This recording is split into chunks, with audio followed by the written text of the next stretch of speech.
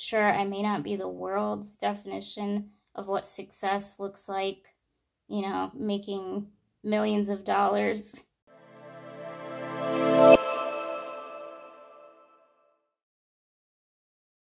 Hey everybody, I'm Amber, a disabled gal, here to reveal or remind you that you're complete in Jesus Christ alone.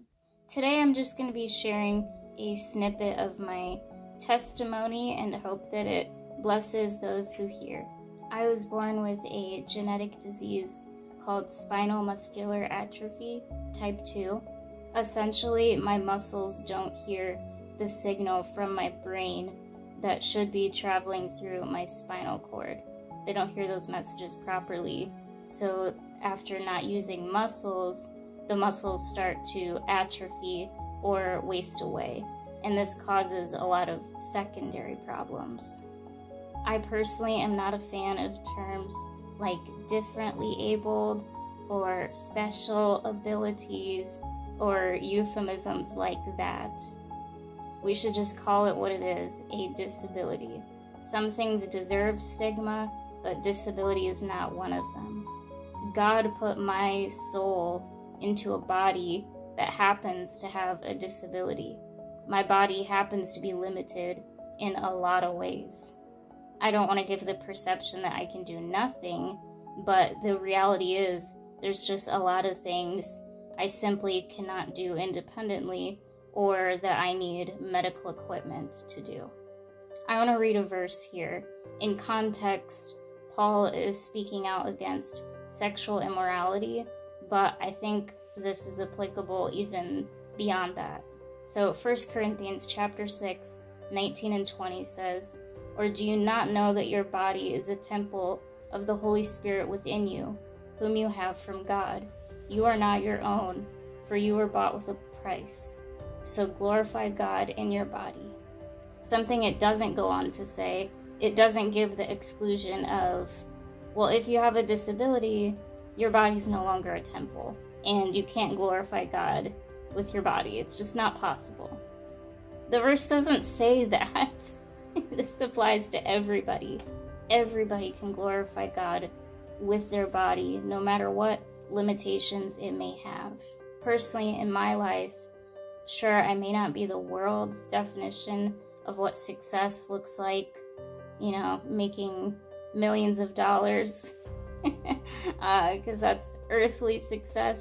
I may not have that, but I still glorify God with my body. The house of my spirit my body, my temple, is still a vessel for the Lord, for His glory. One example is my husband Devin and I have a YouTube channel that we're trying to grow, and uh, on this channel, we talk a lot about the gospel. Um, we talk about the theology of disability and equipping the church uh, to know how to handle disability, things like that. So the Lord can use limitations for His glory. Also, on a spiritual note, my dependence on others has really taught me my dependence upon the Lord. And really, all of us, whether we have a obvious disability or not, we depend on each other. But when you have a disability like mine, it really humbles you in a way and makes you realize that, you know, you simply need help. And over the years, this has taught me how much I need God. I need God for salvation. I can't save myself, and none of us can, and we should find our salvation in Christ. He's the only one who can take away our sins. He's the only one that could be that spotless lamb.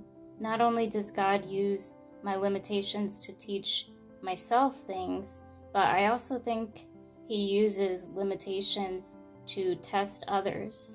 I think this is most obviously seen at the end of Matthew chapter 25.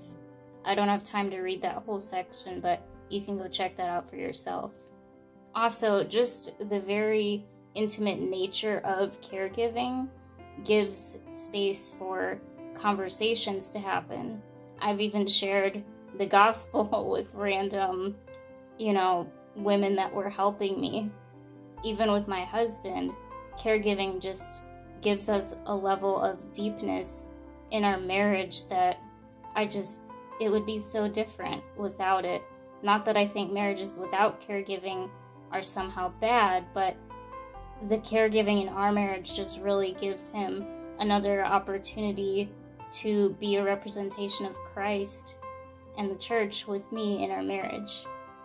Thank you all so much for watching. Please comment below any thoughts, topic ideas, or any of that. And thanks again. The video you just saw was made by Fallible Christians. Although we diligently seek to represent the God of the Bible accurately, please understand that we are still being sanctified. For absolute truth, please refer to the Bible.